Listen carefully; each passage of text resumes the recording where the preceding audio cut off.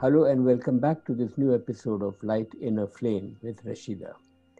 Rashida, in the last episode, you spoke about uh, meditation and going inwards, and you suggested that it is better to do a little physical activity, loosen up your body, and then sit in a comfortable place and start focusing your thoughts inwards and uh, do a little bit of deep breathing, concentrate on your breathing, and then uh, marshal your thoughts.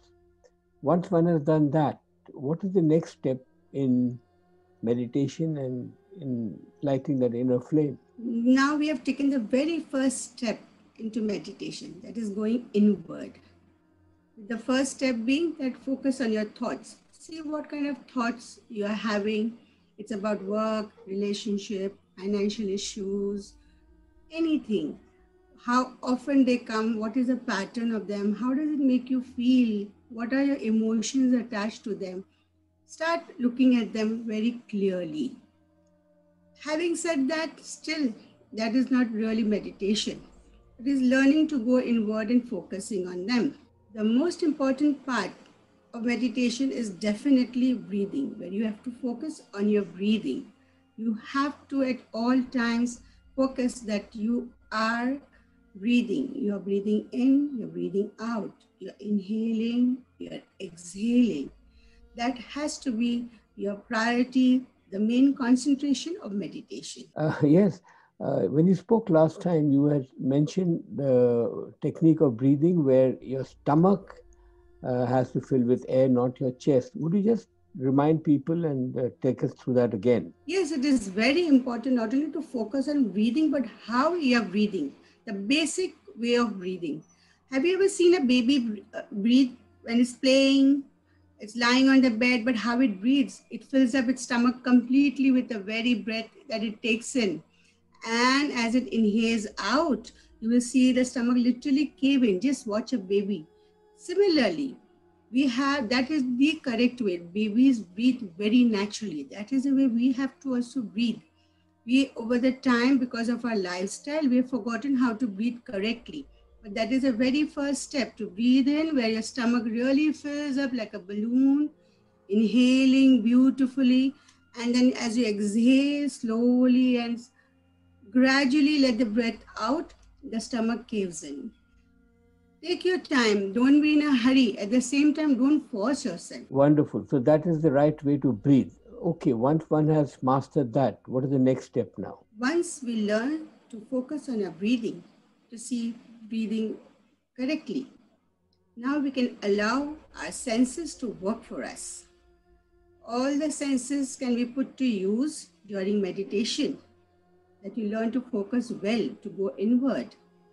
It's like whatever, when you close your eyes, whatever in, in front of your eyes, even if you close eyes, whatever color flashes, or some images that you see, see them, enjoy them. Even if it is just plain black or dark, still enjoy that vision in front of your eyes, closed eyes.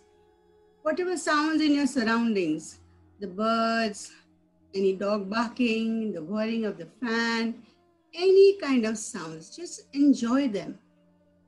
And if there is any kind of perfume or odor or any kind of smell in your surroundings, enjoy that.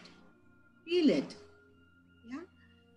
At the same time, there is breeze or there is any kind of feeling in the air that you feel it on your skin. Let it touch your skin. Feel the texture or feel the breeze lightly on your on your hair or on your face or any part of your body just acknowledge them with your closed eyes. Learn to focus on them one at a time. Absorb them, enjoy them, and learn to go inwards, keeping your eyes closed without actually communicating with the outside world. Let the world communicate with you now through your senses. That will help you to go inward. That is the one way to take a step your inner self. So, what you're saying is that do your deep breathing, close your eyes, and become one with the environment. Feel the environment, become a part of it. Wonderful. After that, what? Let the environment work for you.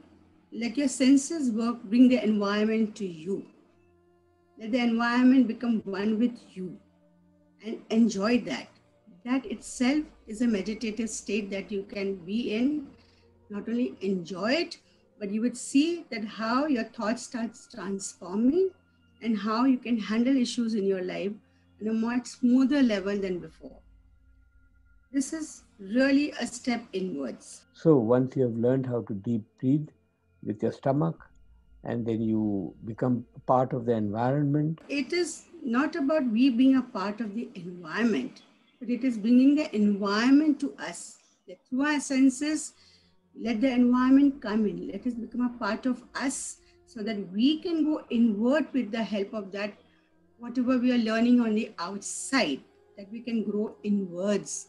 It is not about just evolution, but now it is about involution. It's a very good thought to leave the day today with.